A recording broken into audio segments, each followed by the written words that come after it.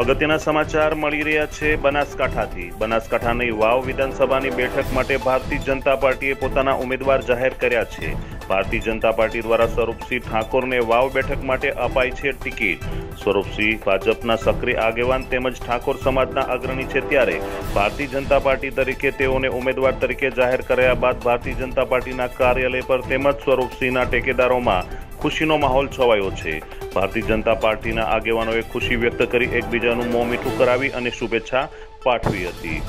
વાવ માટે ભારતીય જનતા પાર્ટીના ઉમેદવાર જાહેર થયા બાદ સ્વરૂપસિંહ ઠાકોરે હાલ પોતાના ટેકેદારોનો પણ ખૂબ ખૂબ આભાર વ્યક્ત કર્યો હતો. Kantubha Rathod, GTV news, Babar. જે ગુજરાતના મુખ્યમંત્રી કુલદીપભાઈ પટેલ અને જે આપણા પ્રમુખ સી આર પાટીલ સાહેબ અને બધા તમામ અ, મંડળનો હું આભાર માનીશ કે મારા જેવા વ્યક્તિને એક સેવા કરવાનો મોકો આપ્યો છે એટલે હું તમામનો આભાર માનીશ. ચૂંટણીને લઈને કેવી તૈયારીઓ કરવામાં ચૂંટણીને લઈને આજે જ જાહેરનામ થયું છે ત્યારથી ફોન ઉપર ફોન આવી રહ્યા છે અને બધા લોકોનો સપોર્ટ છે બધાના અભિનંદન પણ આવી રહ્યા છે અને તમામ લોકોનો સાથ સહકાર છે અને તમામ લોકો મને બહુ મતથી છે એવી મને આશા છે. આ વિધાનસભામાં કોંગ્રેસ ભાજપ અને આમ આદમી પાર્ટી ત્રિપક્ષીય જંગ જામેલો છે તો શું કહેશો?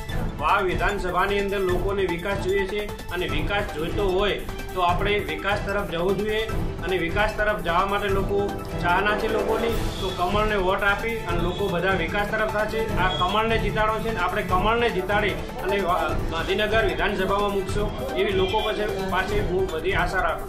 વાહ વિધાનસભામાં વિકાસના કામો કેવા થયેલા છે? વાહ વિધાન